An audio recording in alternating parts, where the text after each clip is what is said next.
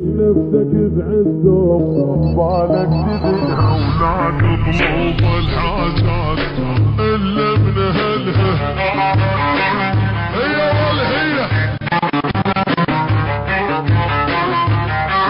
هي من اهلها